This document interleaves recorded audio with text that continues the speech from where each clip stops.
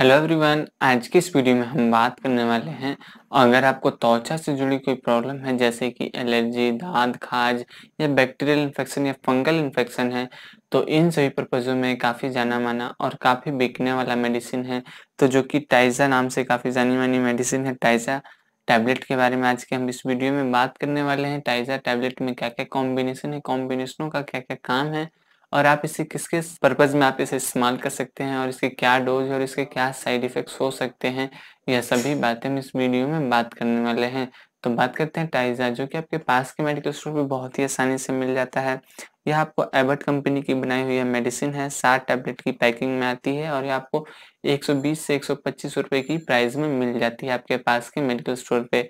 इसके अलावा बात करें इसमें कौन सा कॉम्बिनेशन है जो कि मेजर रोल प्ले करता है। तो इसमें एक ही कॉम्बिनेशन है जो कि टर्बिना फिन है और यह एक तरह का फंगल इन्फेक्शन या फंगल बैक्टीरियल इन्फेक्शन को दूर करने में कारगर होता है।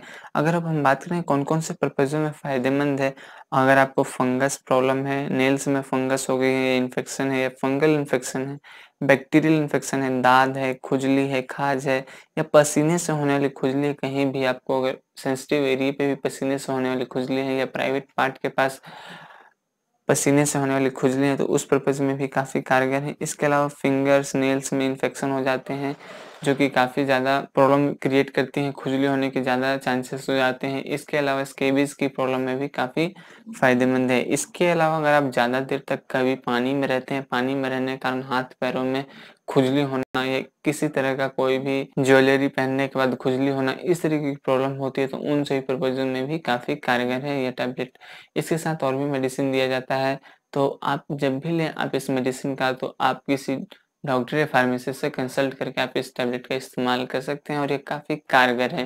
तो यही था इसके फ़ायदे के बारे में। अब हम बात करें इसकी डोज की तो यह दिन में एक ही बार इस्तेमाल करना चाहिए और यह सात दिनों का डोज होता है और आप इसे दिन में एक बार सात दिनों तक आप इसे इस्तेमाल कर सकते हैं। खाना खाने के बाद पानी के साथ आप इस मेडिसिन का इस्तेमाल कर सकते हैं। तो यह था इसके डोज के बारे में। अब हम बात करें इसके क्या साइड इफेक्ट्स हो सकते हैं। तो इसके साइड इफेक्ट्स की बात करें तो बहुत ही रेयर चांस होता है, जो कि साइड इफेक्ट्स देखने को मिलता नहीं तो काफ़ी सुटेबल है, काफ़ी कारगर है। अगर आपको सूट नहीं करता तो आपको नॉर्मल स्तर पे गैस हो सकती है, कब्ज हो सकता है, सर में दर्द हो सकता है, इस तरीके के साइड इफेक्ट्स देखने को मिल सकते हैं। तो यही था टाइजर टैबलेट के बारे में जानकारी। अगर आपको ये वीडियो या जानकारी अच्छी लगी तो प्लीज़ लाइक कीजिएगा सब्सक्राइब कीजिएगा और आपको ये वीडियो को देखने के लिए धन्यवाद। Thank you for watching